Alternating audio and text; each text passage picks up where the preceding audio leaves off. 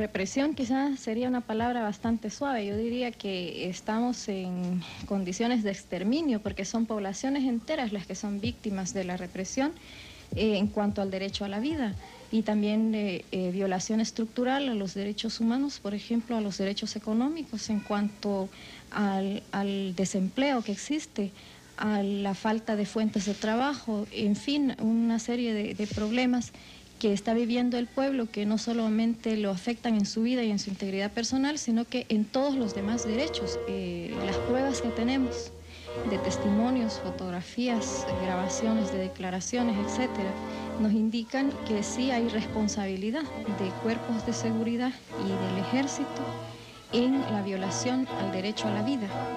Y estas dependencias, este aparato coercitivo es del Estado y por lo tanto el Estado es responsable de esta violación.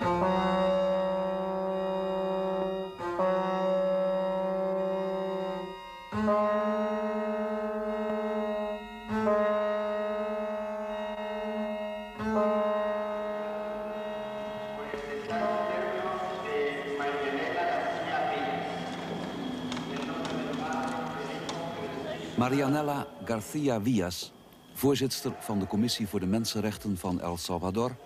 werd op 14 maart 1983 vermoord door het Salvadoriaanse leger. Kort tevoren was ze in het geheim naar El Salvador teruggegaan...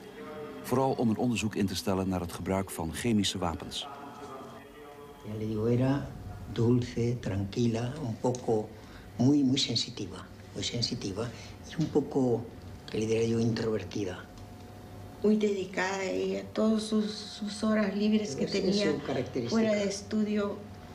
Ella hasta tenía una guitarra que empezaba a aprender a tocar guitarra, le gustaba. Eh, Carmen, ¿cómo, ¿cómo fue la relación entre usted y su hermana Marianela? Bueno, fue entrañable, entrañable. Estuvimos muy unidas porque venimos a estudiar juntas aquí. Estuvimos eh, estudiando el bachillerato. ¿Aquí en España? Sí, ella se quedó más tiempo. Pero los pocos años que estuvimos aquí estábamos unidísimas. Al estar lejos de casa, pues estábamos más unidas las dos. Y siempre hacía de hermana mayor, o sea, en plan de protegerme y tal. Y para mí pues fue una hermana ideal. Marianella en haar zus Carmen gingen naar Spanje op een keurige middelbare school. Hun vader, een Spanjaard, had in de burgeroorlog tegen Franco gevochten en was daarna uitgeweken naar Midden-Amerika.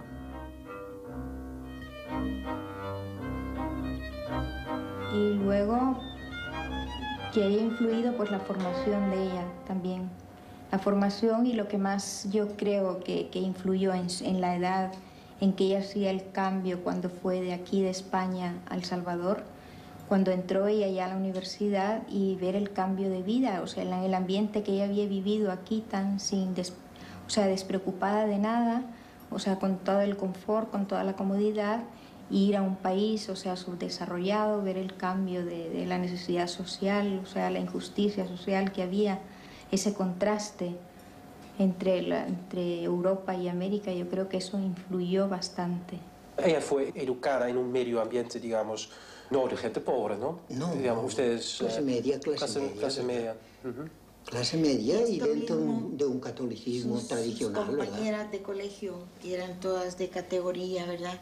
Siempre decían, pero ves Marianela, porque tú vas siempre con esa gente, tú vas siempre con esos pobres y cuando ella fue mayor, lo mismo. Hay una chica que yo la recuerdo, el nombre no recuerdo, pero sí sé quién es, que le decía, sí voy contigo Marianela, pero si no vas con toda tu gentuza esa, que siempre tenés que llevar a toda esa gente en el carro. Siempre ella, la gente pobre, la prefería. Marianela pues nos enseñó este, que la persona humana, no por ser maloliente, no por ser sucia, no por ser eh, campesina o por ser obrera, este, tenía que estar marginada, solo agachada, decía ella con el canasto en la cabeza. Ella me conoció a mí, pues hacía yo comales. Este, y ella me dijo, pues, pues no, ya no vas a hacer comales porque tenés, este, tenés la facilidad de hablarle a los demás y de hacerte entender con los demás. Entonces no puedes estar haciendo comales, si no puedes leer, pero puedes hablar. Entonces eh, ella empezó a traerme a las reuniones a la capital Imagínense en mí una mujer no vestida como ahora, sino, sino descalza y sucia. Imagínese usted la mujer toda despeinada que ella conoció. Ella eh, comenzó a estudiar qué? Derecho. Derecho. Sí, pero fue a examinarse, sin saberlo yo, para ir a filosofía también. Yo, como era profesor en filosofía, la vi allá y le dije, ¿qué haces aquí? Nada, que quiero también entrar en filosofía. Y cuando él decía, ¿por qué? Dice, pues sencillamente es la misma razón, usted lo hizo y es la misma razón. Yo creo que la filosofía fundamenta el derecho. ¿Terminó las dos carreras? Terminó las dos, sí. Y ya digo, y fue profesora de filosofía y fue profesora de derecho también. Cuando estaba trabajando en los derechos humanos ya en plena lucha, cuando ustedes la conocieron, todavía daba clases, pero llegó un momento que dijo ya no puedo porque no tengo tiempo. Vanaf dat moment wijde Marianella zich geheel aan de zaak van de mensenrechten. Ze was een van de weinige advocaten die bereid waren op te komen voor de slachtoffers van de economische en politieke onderdrukking. Ze verdedigde arme boeren, ze verdedigde politieke gevangenen.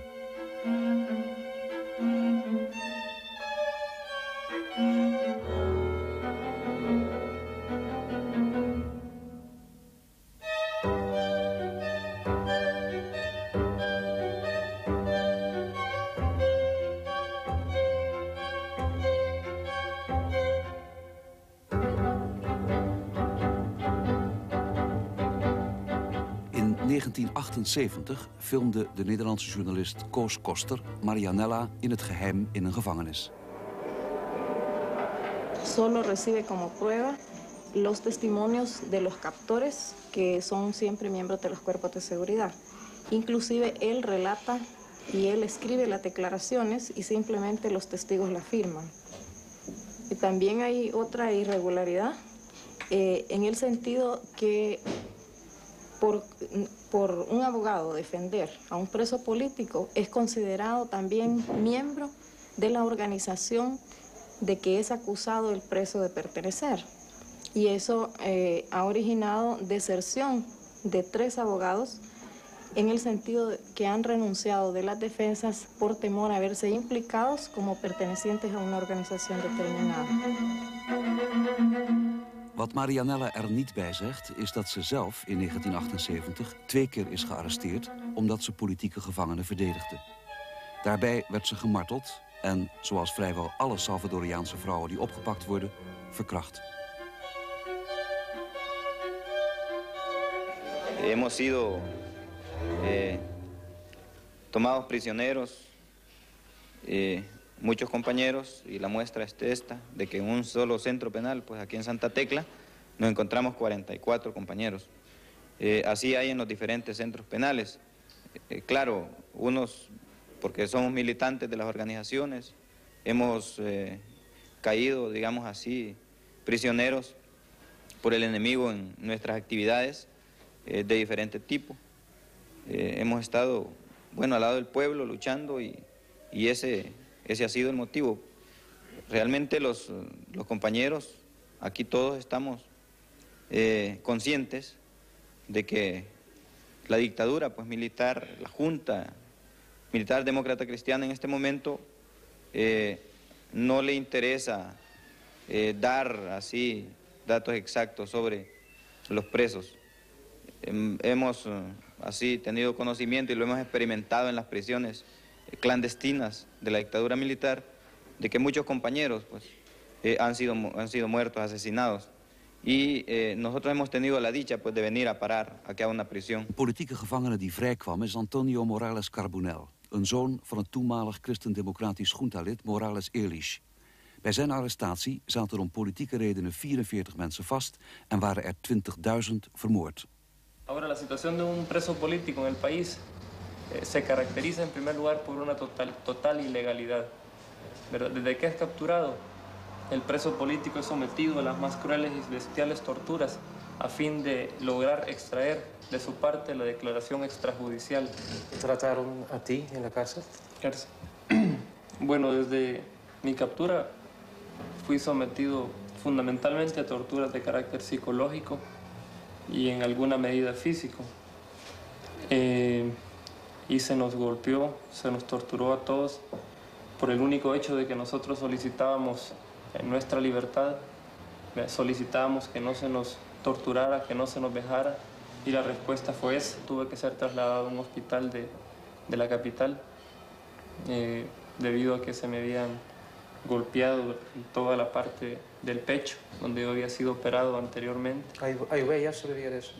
Eh, algunas señas nada más en esta parte de aquí. No, no, no se pueden ver mucho, ¿no? O sea, cuando ellos inmediatamente detectaron la operación, ¿verdad? Eh, se dedicaron a golpearme solo en esta región.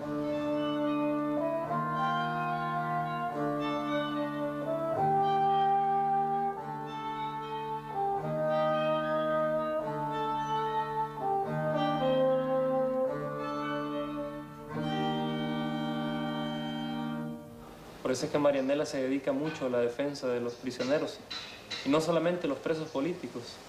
Eh, Marianela trabajó mucho en la defensa de los prisioneros comunes, porque las injusticias no van solamente contra, contra nosotros. A los presos comunes en las cárceles del Salvador también se les mantienen situaciones peores, tal vez, que a los presos políticos, en condiciones de vida desastrosas. ¿no? Muchos prisioneros eh, son engañados por los abogados del régimen, eh, son les cobran eh, eh, sumas altas de dinero, eh, haciéndoles aparecer como que si han sido ya liberados y, a lo mejor están condenados por 30 años y quedan endeudados para toda su vida. ¿no?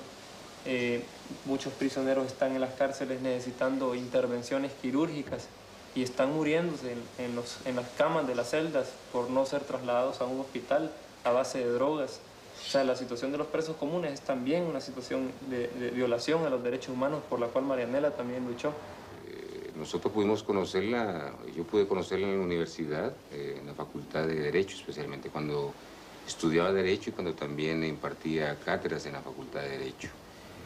Eh, posteriormente, por parte del Partido Demócrata Cristiana, fue diputado a la Asamblea Legislativa del Salvador y en ese momento es cuando su figura adquiere una, un eh, relieve nacional, una altura nacional, una amplitud nacional, especialmente por su actitud en defensa precisamente de los eh, derechos del pueblo en, las asambleas nacionales del Salvador. Eh, en cierto momento se da cuenta que la democracia cristiana ha tomado un rumbo que no es el rumbo del pueblo, y Marianela, desde luego, con otra serie de eh, compañeros de la democracia cristiana, adopta su propio camino, es decir, retirarse de la democracia, de la democracia cristiana. Marianella was in 78 een van de oprichters van de Mensenrechtencommissie. Een bomaanslag tegen het commissiekantoor volgde snel. Bij het aartsbisdom kreeg men nieuw onderdak. Nuestra comisión tenemos eh, registros de estas víctimas y tenemos hasta el 23 del mes en curso reportados 3.122 casos de personas asesinadas y un número de 401 personas desaparecidas. Había salido por primera vez hacia el exterior a dar a conocer qué era la comisión, qué es lo que hace la comisión por la defensa de los derechos humanos del pueblo. Ella había regresado cuando yo la conocí. una, era una persona muy buena gente, con un carácter y con un gran espíritu de trabajar. Habían veces sí se molestaba, pero porque exigía más trabajo.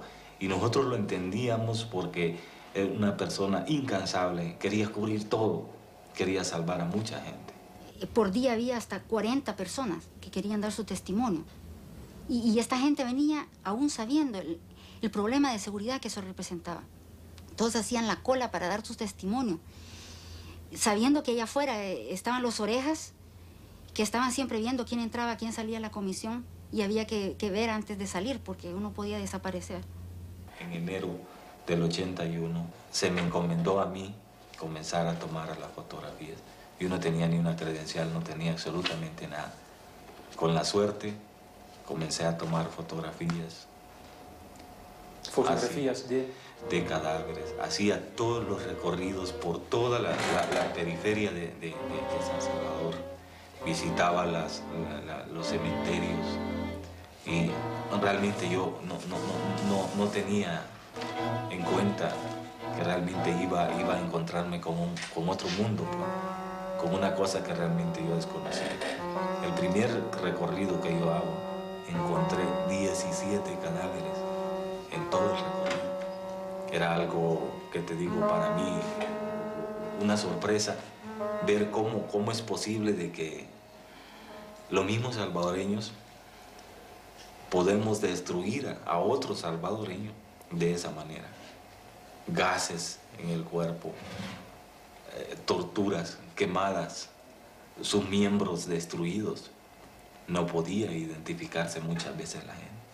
Y el constatar a diario en nuestra oficina el dolor de las víctimas de la represión, el escuchar los testimonios de aquellas personas que se han escapado milagrosamente de la muerte, de aquellas personas torturadas, de aquellas mujeres violadas, de aquellos niños eh, que llegan todavía lesionados y de gente que llega eh, pidiendo un poco de ayuda económica para comprar un ataúd para su pariente, de gente que nos dice, eh, vayan ustedes a reconocer a mi hijo que está en tal lugar, porque nosotros tenemos miedo de irlo a reconocer, porque si lo vamos a reconocer nos van a matar a nosotros también.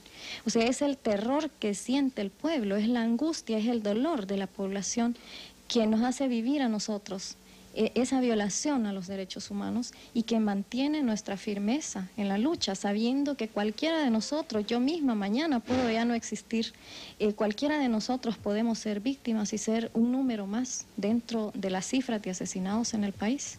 Marianela nos decía, miren, ustedes tienen que revisar los cadáveres bien detalladamente, tienen que darle vuelta, tienen que quitarle la ropa si es posible, tienen que encontrarle una señal, aunque sea, para que éste pueda ser reconocido.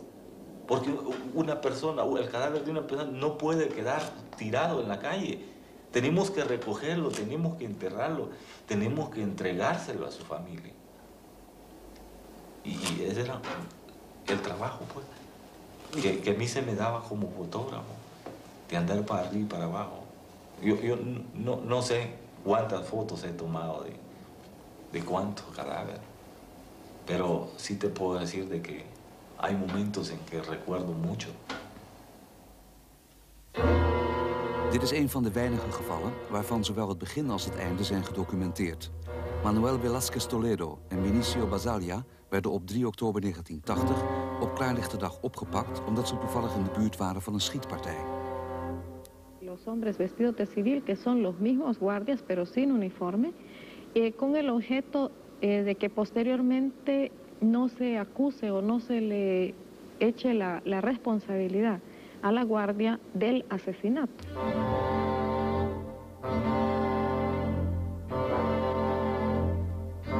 Cuando nosotros le dimos las fotos a la madre de, del joven que fue reconocido, eh, ella se fue a la Guardia Nacional y le dijo que quería saber dónde estaba enterrado su hijo o dónde estaba su hijo.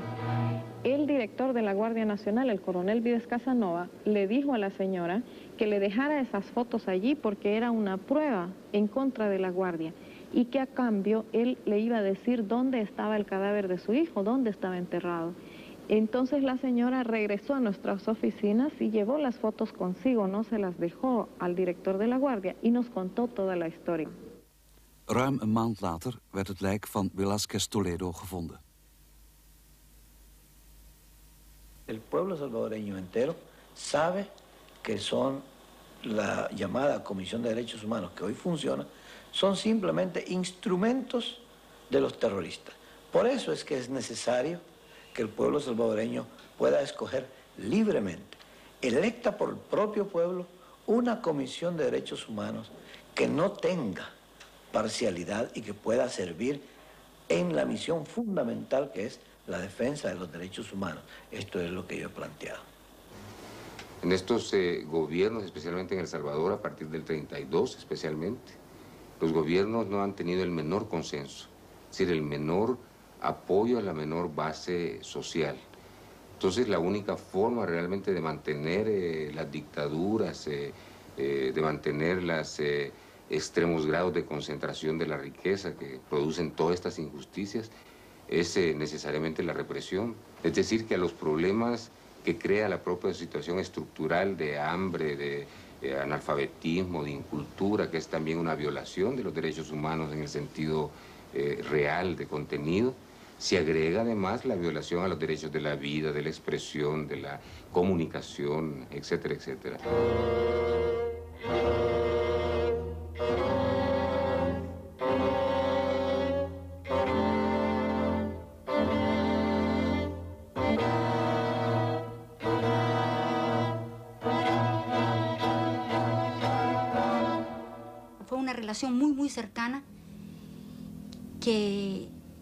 Incluso en, en los momentos más difíciles. Cuando yo salí yo estaba ya embarazada. Y cuando llegué yo a México, ella me decía que, que ella me iba a dar todo su apoyo, incluso económico, y me lo dio pues. Y, más del punto de vista moral. Me decía que me olvidara de los, eh, de los convencionalismos, que, porque yo soy soltera, ¿no? Y una madre soltera en un país latino es, es algo muy duro, ¿no? Y, para mí misma, porque yo soy, yo soy católica y, de colegio católico igual que ella y de familia de media clase. Es más, ni, ni nos decía dónde iba. ¿Vivía en la casa? Sí, pero muchas noches no dormía allá. O sea, no conviene, me voy. y no les digo, no les digo dónde voy, pero no se preocupen ya no quiso dormir en casa por, no corre, que no corriéramos riesgo nosotros. Como estaba intervenido el teléfono, no quería hablar ni por teléfono, ¿verdad? Eso sí, venía a vernos siempre, pero siempre no pasa nada, todos alegres, todo adelante, ¿verdad? Y volvía a salir. Siempre me decía, cuando yo le decía a veces que por teléfono nos llama, hacían llamadas telefónicas amenazadoras, ¿verdad? Y le decía, ay, hijita, le decía, mira, deja eso. Yo casi le lloraba yo pidiéndole que lo dejara. Me decía, mami, no haga caso. Me decía, son bromas. Así hacen ellos por teléfono para, para intimidar a la gente. Me decía, es una guerra fría esa, me decía, pero no, no se preocupe. Eh, en diciembre del 79 vimos juntas el videotape que Dawison sacó y en el cual había toda una lista de personas amenazadas y que él amenazaba en ese momento, en ese videotape. Estaba Monseñor Romero, estaban los hermanos Zamora, del cuales uno ya está muerto, y Marianela, a la cual llamaba Comandante Lucía. ¿Cómo reaccionó ella? Ella se rió. ¿Se rió? Se rió y, y grabó la, el videotape. Sobre los problemas que ya teníamos nos aparece en 1977 la política de los derechos humanos. Diez años tarde, a la reunión de OLA, que fue en el 67. Pero tomó la amenaza porque era amenaza. Era una amenaza, sí. Pero la tomó en serio en el fondo de su corazón o no. O sea, eh, en su interior sí le preocupaba un poco, pero eso no le cambió nada de su trabajo. Ella continuó su trabajo como, como si no hubiera pasado nada. Y lo, lo informó a la comisión y eso fue todo. Ella nos dijo, salgan inmediatamente porque aquí va a haber cualquier día algo serio y no respetan a nadie, hasta ahora se han respetado, ¿verdad? No tengo el temor que tenía y les va a pasar algo. Salgan antes de que les pasen algo. Había un atentado de, bomba, ¿no? sí, pero esa ahí está el, y una familia campesina. Mm, allí estalló la bomba, ¿verdad? Pero dos números más abajo. Y la gente dijo que era para nosotros, pero no lo sabemos, ¿verdad? No sabemos. Estalló una bomba. Bien. Pero pues la cosa se ponía mal, ¿verdad? Y ella, al que lo veía venir, dice, váyanse. Y fíjese que salimos el segundo día de Navidad, porque fue precipitado. ¿En el año? todo del año 79, ¿verdad? 80. 80. 80. Lo dejamos todo, tal como estaba. Solo una familia, que era muy amigo de ella, se quedó en casa, para guardar la casa. Nosotros, con lo que llevábamos puestos, nos fuimos a Costa Rica. Het gezin dat op het huis van Marianella's ouders paste, werd opgepakt. Het huis dichtgemetseld. Marianella was inmiddels uitgeweken naar Mexico. Daar richtte ze een nieuw kantoor op van de Mensenrechtencommissie. Debido a su compromiso, ella, ella pues perdió a muchos de sus amigos. Unos cayeron, que eran los, los que realmente fueron sus amigos. Zoals Maria Magdalena Enriquez en zoals later Koos Koster. Koos se enteró de la existencia de la comisión por un pequeñito anuncio que salió en el periódico. Muy pequeñito, donde la primera vez, fue la primera vez que la comisión empezó a salir por la, en la prensa, ¿no? Y eso le llamó la atención a Koss, buscó la comisión y llegó. Y, fue así como conoció la, eh, comisión. Y eh, pues eran muy, muy, muy buenos amigos con Marianela. Trabajaban juntos, él le daba ideas. Y era una eh, interrelación de trabajo muy buena. Y pues Cos fue una de las personas que más ayudó a la comisión en contactos, en orientaciones. Eh, gente que había que ver cómo habría que tratar las cosas en Europa.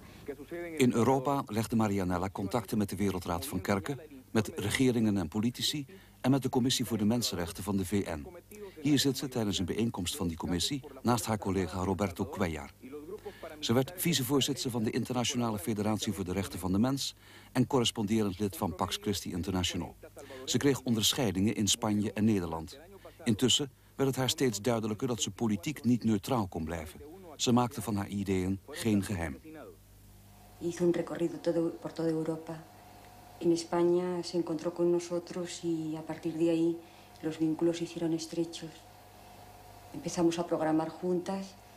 y creamos la representación de, de, la Comisión de Derechos Humanos del Salvador en España.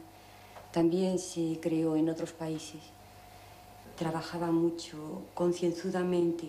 Sabía que, que el arma que ella había cogido en sus manos para defender a su pueblo, que era su palabra, que era su, su papel escrito, que era su testimonio veraz, se hacían absolutamente necesarios no solamente para defender, para evitar, perdón, me he ido, sí, no solamente para, para luchar contra la, la violación de los derechos humanos, sino para crear condiciones para que llegase un día en que esas violaciones no se llegasen a dar.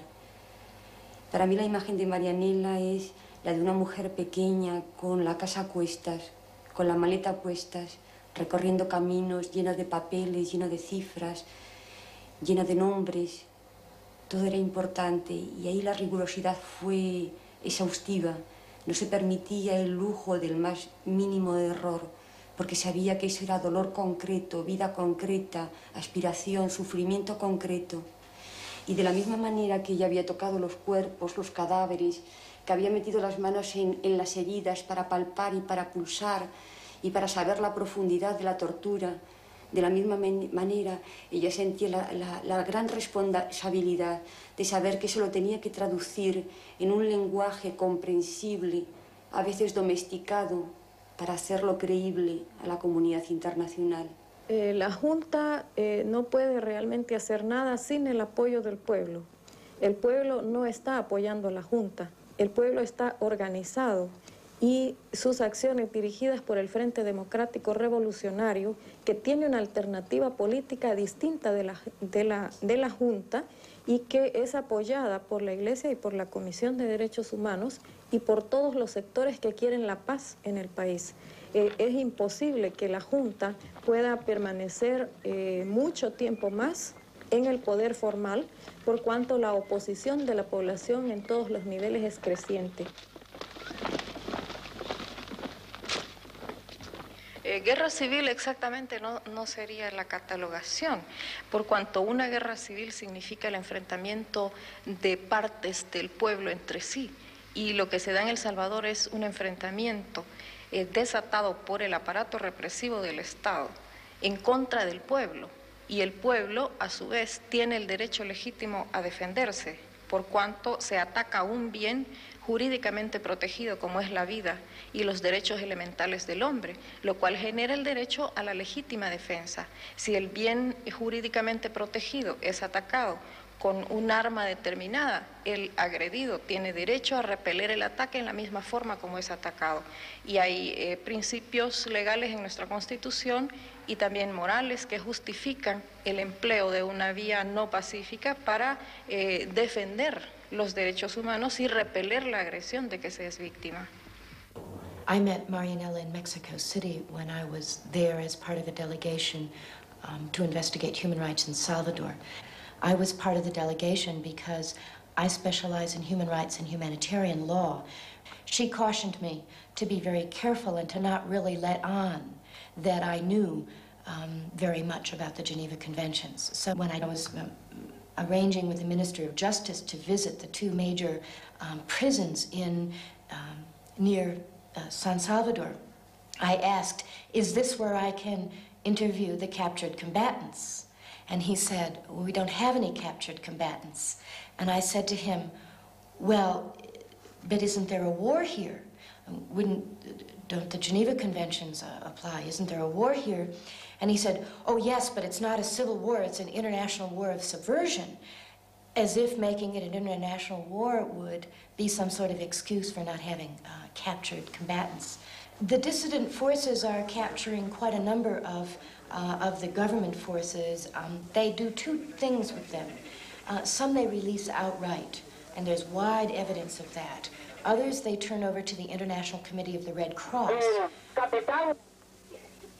Pobladores de Huasteca, miembros de la Cruz Roja Internacional, del Frente Farabundo Martí para la Liberación Nacional, están presentes en una nueva oportunidad al entregar a la Cruz Roja Internacional una nueva cantidad de prisioneros de guerra.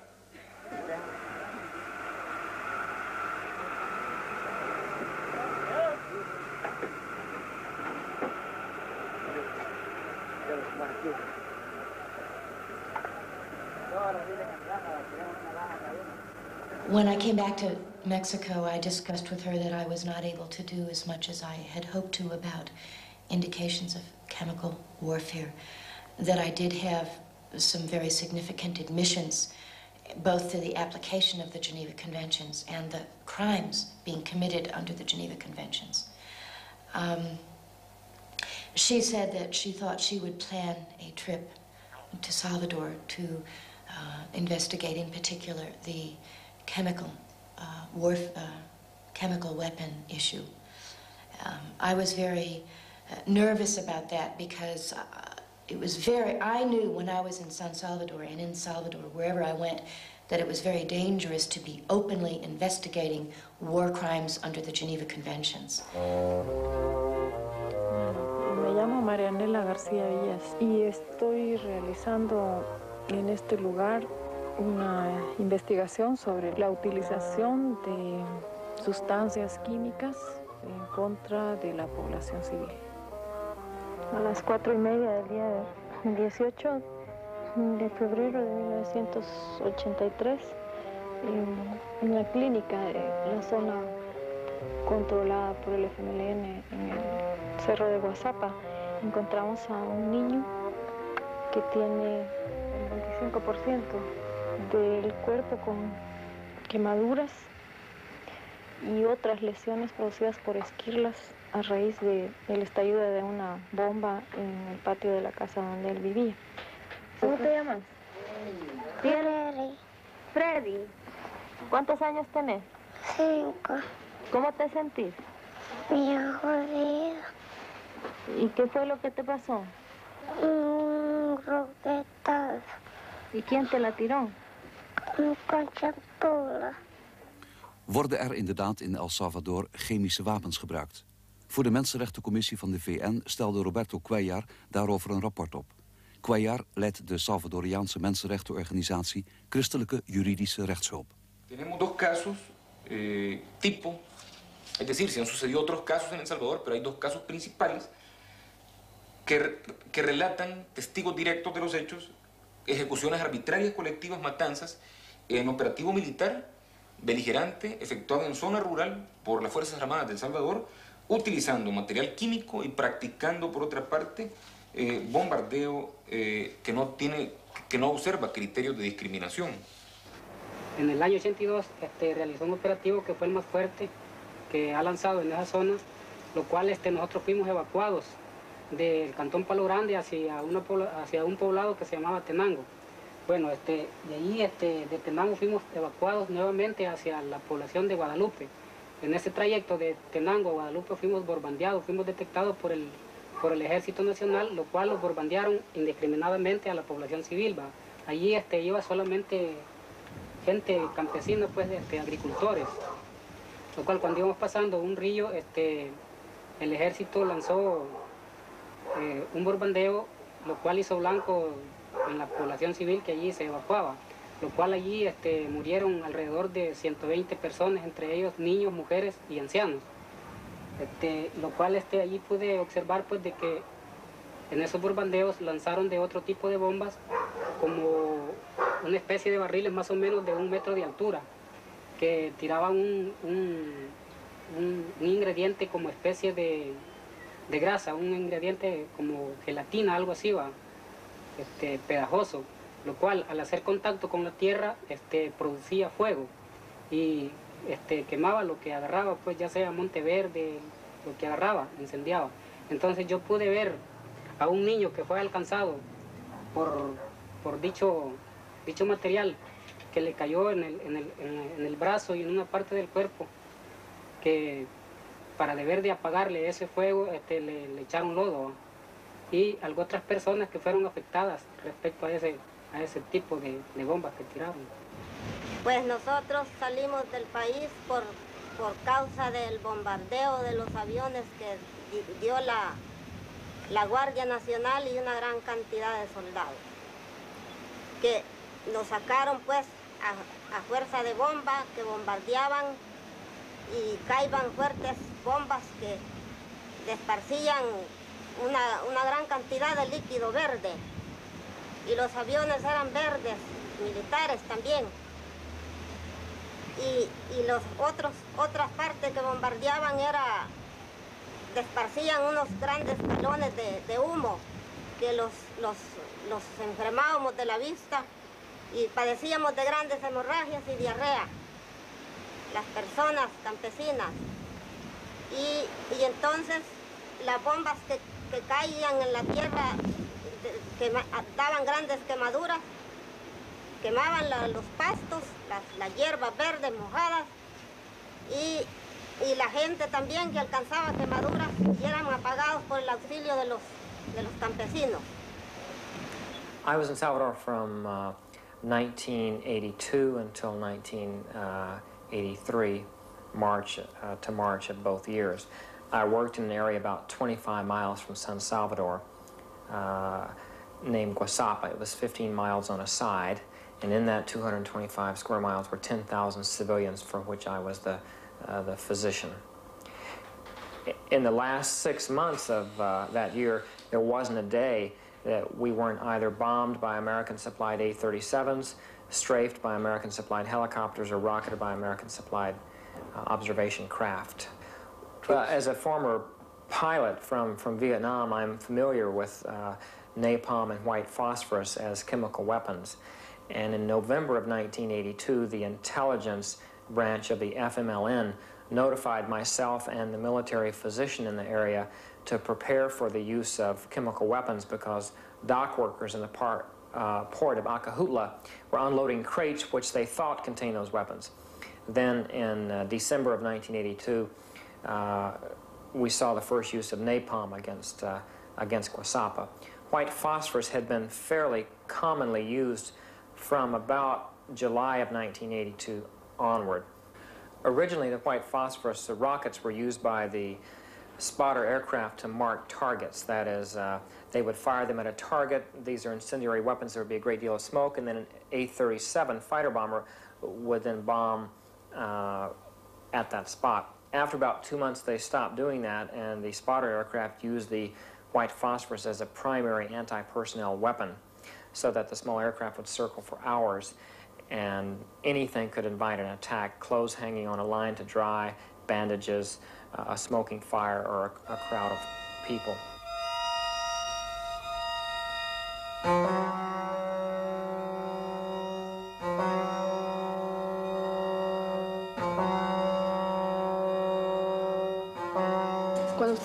Preparando el viaje en México, en la casa, una vez ella me dijo, eran como las 6 de la mañana cuando recién nos levantábamos, que ella presentía que la iban a, matar, que ella posiblemente no, no iba a regresar a México y que le preocupaba porque ella quería seguir en el proyecto, pero sin embargo quería responder a las necesidades de, que se presentaban en ese momento, sobre todo el recabar la, la información sobre el uso de armas químicas y biológicas, eh, porque el plan era que ella se, nos íbamos juntas a desarrollar un trabajo sobre esta investigación. Ella a la zona bajo control después de hacer una serie de investigaciones en la capital y yo me quedaba directamente en la comisión, en las oficinas de la comisión en San Salvador.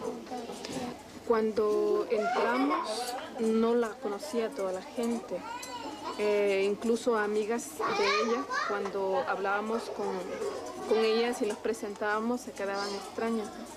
Mm, yo creo que se debía que ella llevaba pintado el cabello precisamente por eh, cambiar, ¿no? Porque como el enemigo lo tenía directamente controlada, ¿no?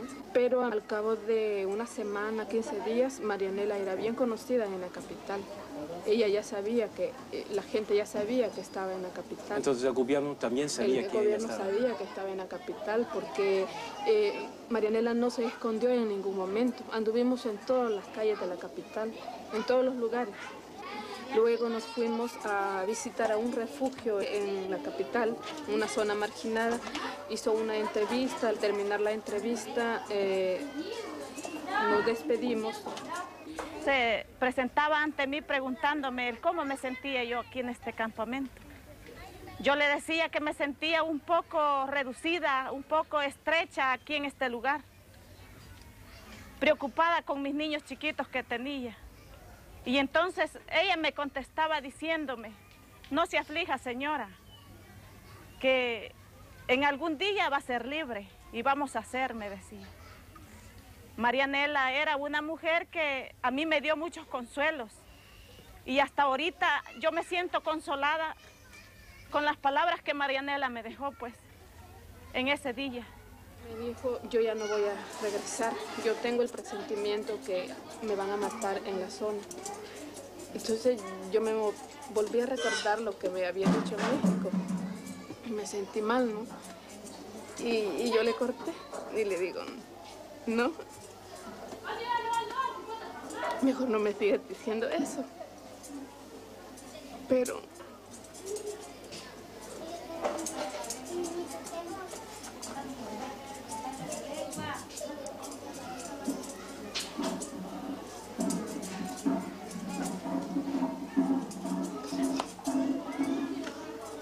Le, dije que, si ella sentía que la iban a matar, ¿no? Entonces, sí, y por eso te digo que me lo reparta. Después ella sintió que, a mí no me gustó.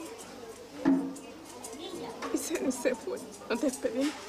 Llegó un taxi a recogerla y nos fueron a dejar. Al día siguiente ella salía y yo ya no la vi. Entonces podríamos decir que el último periodo que estuve con ella fue de mediados de febrero hasta el 9 de marzo. También en esa invasión hubo la famosa masacre que yo creo que tienen conocimiento de ella los medios de comunicación. Eh, del 26 en adelante, fueron dos días, fue la masacre de Tenango que se llama, fue el acorralamiento, o sea, mucha gente estaba a la orilla del río Quesalapa. Eh, quizás fueron detectados porque tenían que lavar ropa, tenderla, fueron detectados y el ejército cercó esa zona. En esa zona fueron 28 masacrados, entre ellos una señora embarazada, niños. Yo tuve la oportunidad de andar con ella recogiendo los cadáveres. Ella también recogió los testimonios de familiares, tomó las fotos y ayudó a enterrar. Y el último día que nos vimos con ella fue el 9 de marzo. Yo tenía la oportunidad de salir de la zona y había cumplido mi misión. Yo le invité a que saliéramos juntos. Ella me dijo, yo quisiera irme contigo, pero el problema es que he dejado muchos cassettes, rollos ya revelados y entrevistas y muchos documentos escritos de testimonios de familiares, de amigos, de, viudas, eh, en fin, de lo que ella había ido a recoger por su reunión, por su, porque le interesaba llevar todos esos testimonios a Ginebra.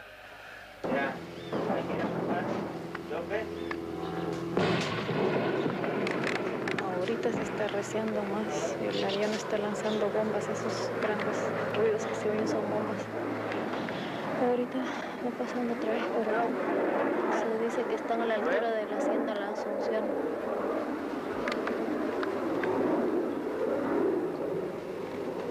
Dice las diez y media más o menos está sobrevolando.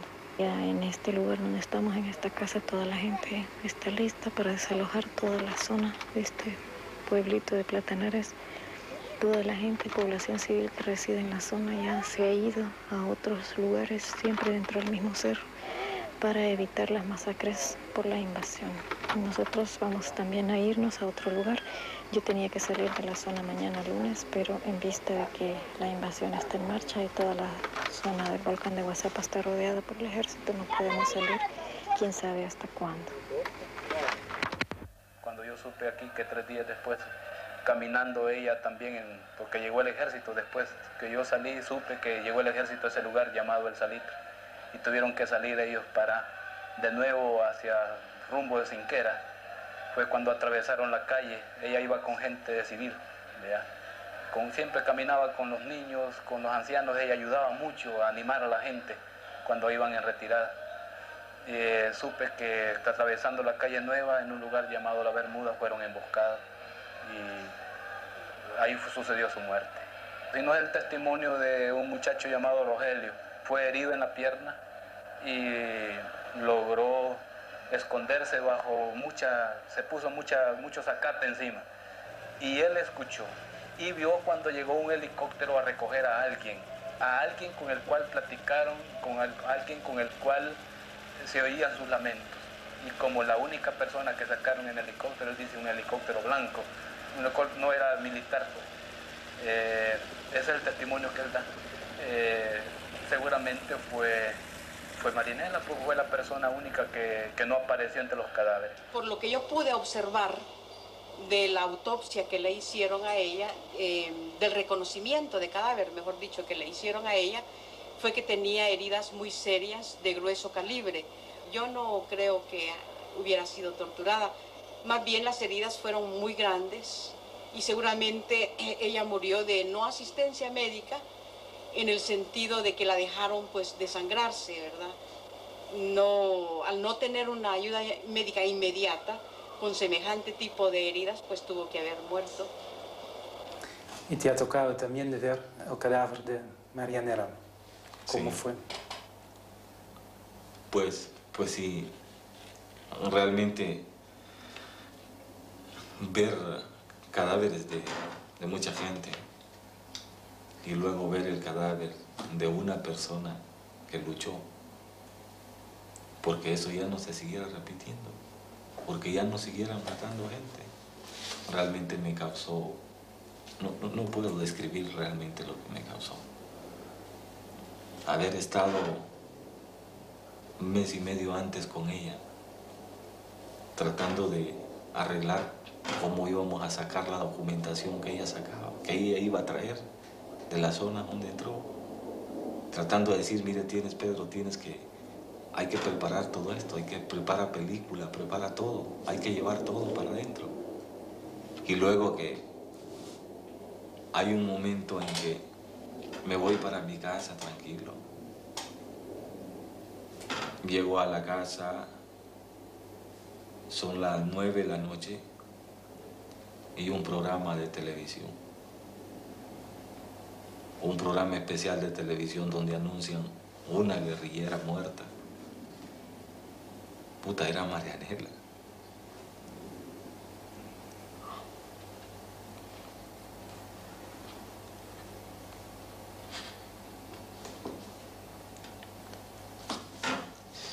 No podría creer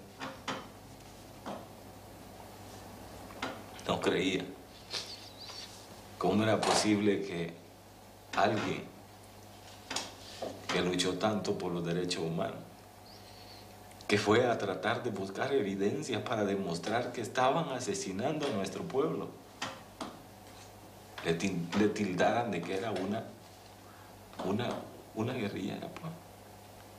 Yo no podía creer. Toda una gran propaganda que había muerto en un enfrentamiento.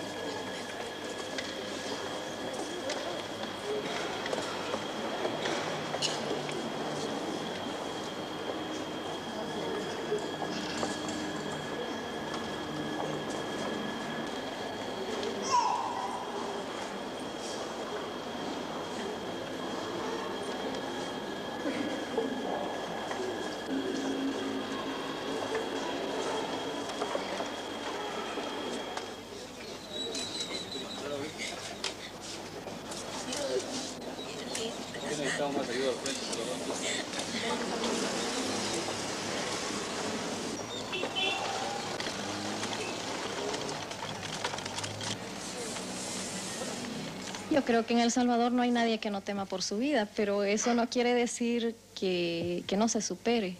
O sea, uno puede tener miedo, pero superar el miedo.